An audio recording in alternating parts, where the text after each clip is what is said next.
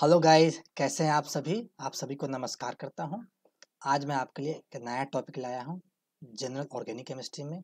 वह है रेजोनेंस या मेजमेरिक इफ़ेक्ट ठीक है? चलिए इसको पढ़ते हैं। तो सारे बच्चे कॉपी, कलम लेकर बैठे हमारे साथ पूरे एनर्जी के साथ पढ़ाई करें। ठीक है बेटा? चलिए स्टार्ट करते हैं।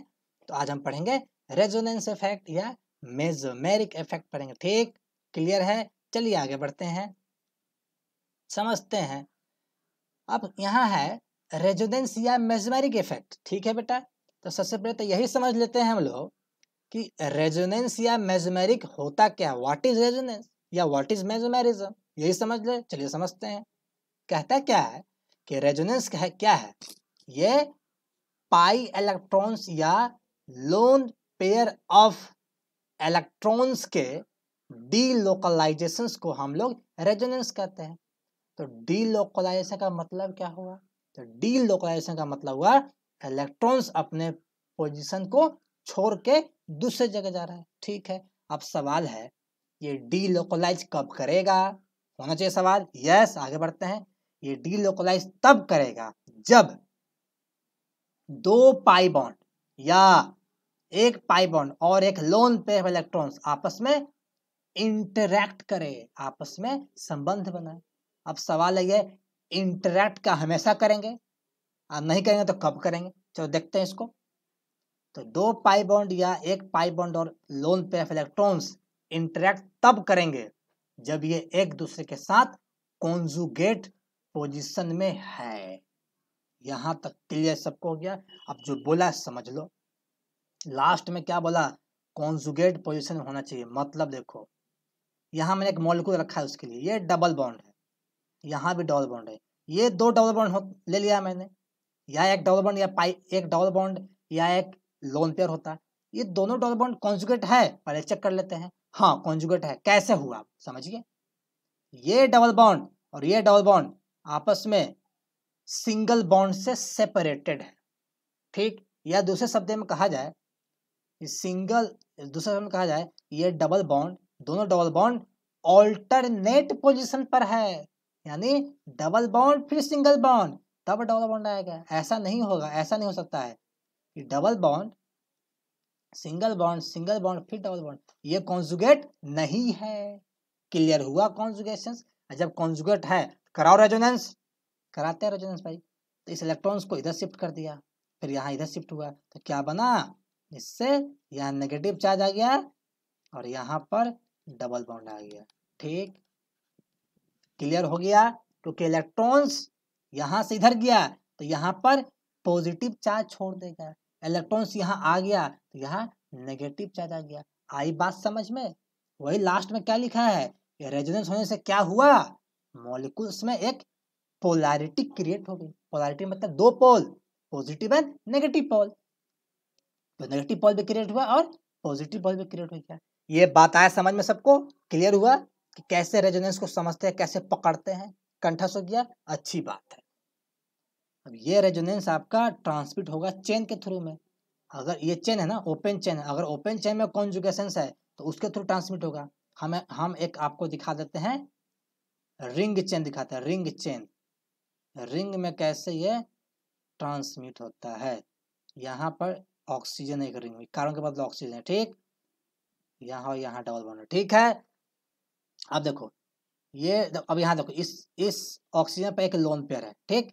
ये लोन पेयर और ये डबल बॉन्ड कॉन्जुगेट है, कैसे? तो भैया अभी ने कहा, अगर दो डबल बॉन्ड है तो ऑल्टरनेट होना चाहिए।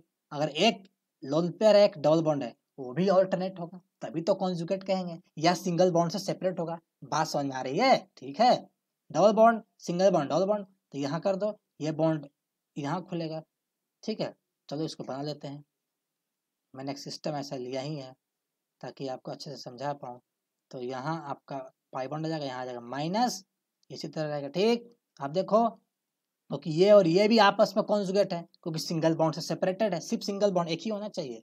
अब देखो क्या होगा, बातों को समझते रहना है, ठीक? अब देखो, यहाँ प्लस आया, क्योंकि इस पर एक लोन पे जा चुका है। अब देखो, ये इधर गया और ये इधर आया, यानी ये डबल बॉन्ड यहाँ हो गया, यहाँ पर माइनस आ गया। देखा कॉन्जुगेट भी था पोलैरिटी भी हुई, सब कुछ हो गया।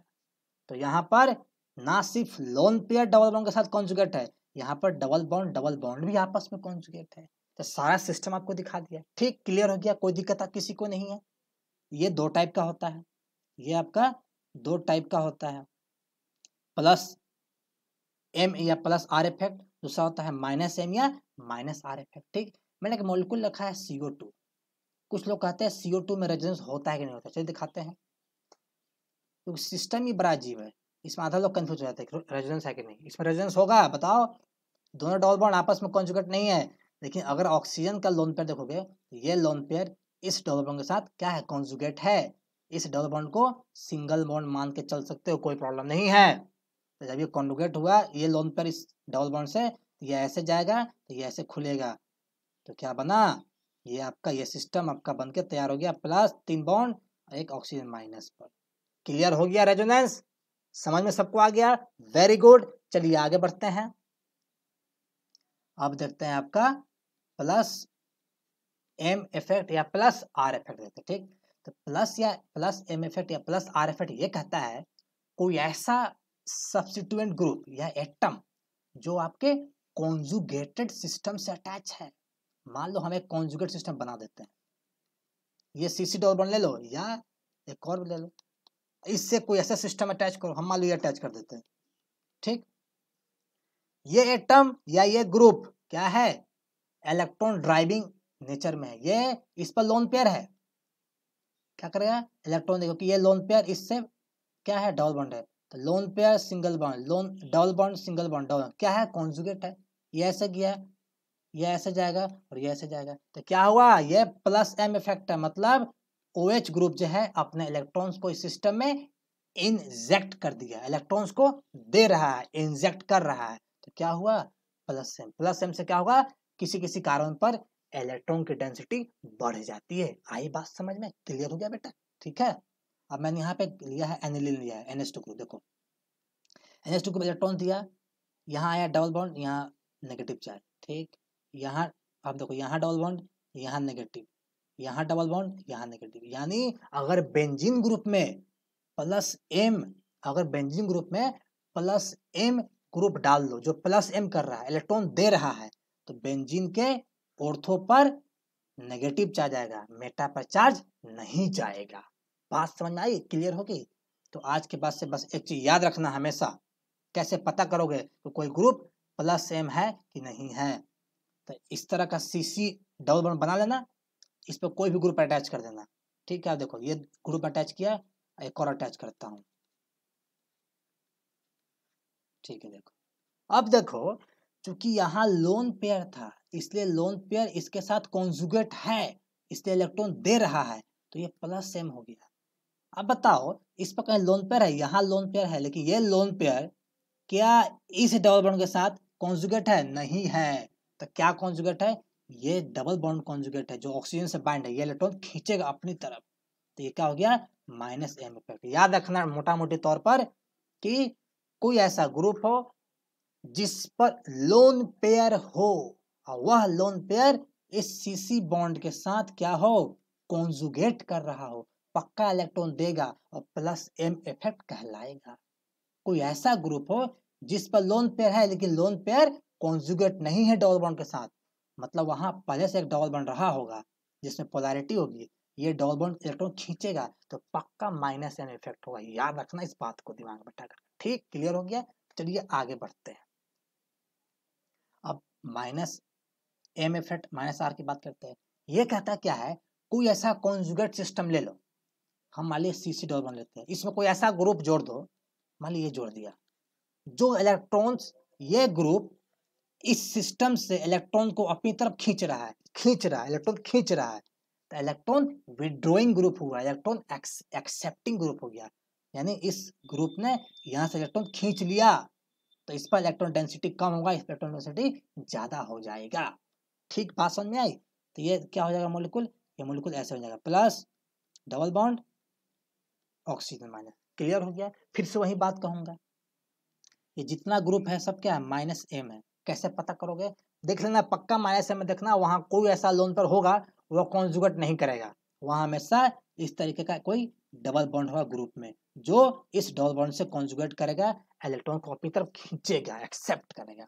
मैंने एक एग्जांपल लिया है, इसका नाइट्रोबेंजिन का। नाइट्रो पर देखो, इस पर लोन पेयर है लेकिन देखो, इस पर प्लस चार्ज है कभी इलेक्ट्रॉन लगा ही नहीं। देखिए, ये देखो, ये डबल बॉन्ड और ये डबल बॉन्ड आपस में कॉन्जुगेट है, क्योंकि बात बीच में सिंगल बॉन्ड से सेपरेशन है। तो अगर कोई electron accepting withdrawing group benzene से अटैच है तो बेंजीन के बेंजीन के मेटा ग्रुप पर डेंसिटी बढ़ जाती है, क्योंकि इसके ऑर्थो ग्रुप पर पॉजिटिव चार्ज आ जाता है। ठीक हो गया? आए समझ में बात कि कैसे माइनस सेम और प्लस सेम पकड़ते हैं। बस पकड़ना ही तो है आपको। सारा सवाल बना लोगे। ठीक? क्लियर हो गया? ठीक है? इसी के साथ लेक्चर को फिनिश करता हूँ मैं, और अगला जो लेक्चर होगा, हम इसी पर लेंगे कि आपने जो मेजोमरी सीखा, इसको कहाँ अप्लाई करोगे? क्योंकि क्वेश्चन जो पेपर में आता है डायरेक्ट नहीं पूछेगा कि ग्रुप दे दिया। कहा कि बताइए, इसमें कौन सा माइनस एम ग्रुप है, कौन सा प्लस एम ग्रुप है? नहीं पूछेगा। बहुत आसान सवाल होता है ये। इससे संबंधित इसका एप्लीकेशन जिस कंसेप्ट में होता है, उस एप्लीकेशन को पूछेगा। इसी एप्लीकेशन को लेकर के मैं अगला लेक्चर आऊँगा। मेरे साथ बने रहिएगा। ठीक है? और मेरा इंतज़ार कीजिएगा, मैं ज़रूर आऊँगा। ठीक? इसी के साथ टेक केयर अपना ख्याल रखे, खुश रहे, मस्त रहे। अलविदा गुड बाय